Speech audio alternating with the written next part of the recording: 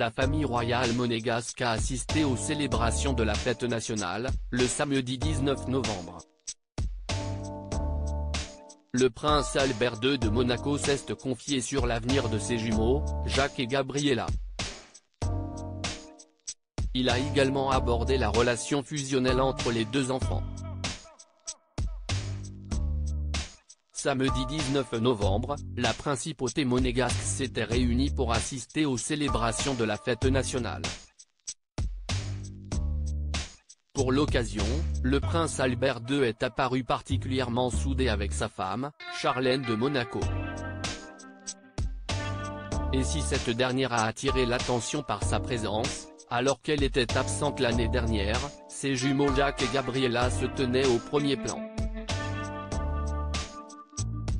Les deux enfants de 8 ans étaient très élégants pour l'occasion. En effet, Gabriella était coiffée d'un petit chapeau noir et vêtue d'un magnifique manteau rouge, en référence à la couleur officielle de la principauté.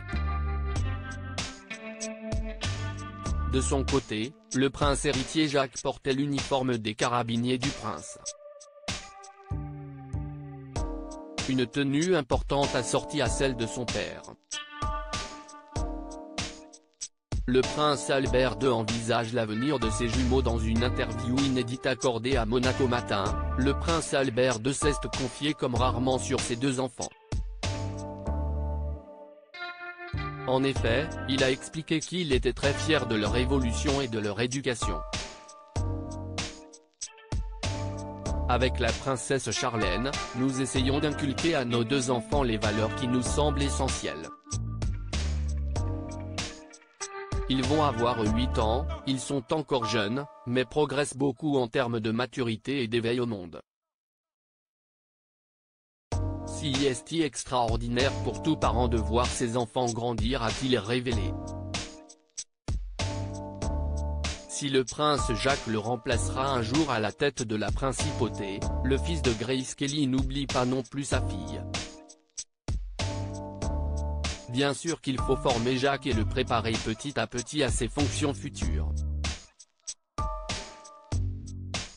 Mais Gabriella aussi aura un rôle à jouer, il faut qu'elle soit la plus aguerrie possible pour aider son frère a-t-il expliqué à propos du futur de la jeune Gabriella.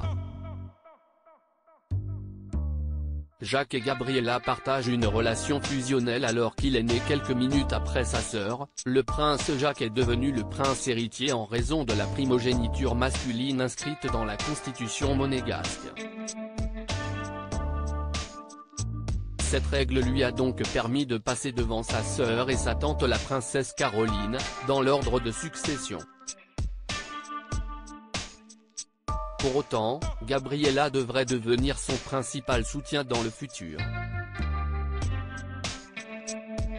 En effet, le prince Albert de Monaco et la princesse Charlène espèrent que leurs enfants resteront soudés et pourront compter l'un sur l'autre dans le futur. Jacques est le prince héréditaire, mais Gabriella a un rôle important à jouer de soutien et de partage de certaines responsabilités. Ils sont déjà très liés, très complices. Il ne faut pas trop faire de différenciation pour l'instant, cela viendra par petites touches à confier le frère de la princesse Stéphanie. Une belle manière d'imaginer l'avenir des jumeaux, qui devraient avoir plus de responsabilités dans les années à venir.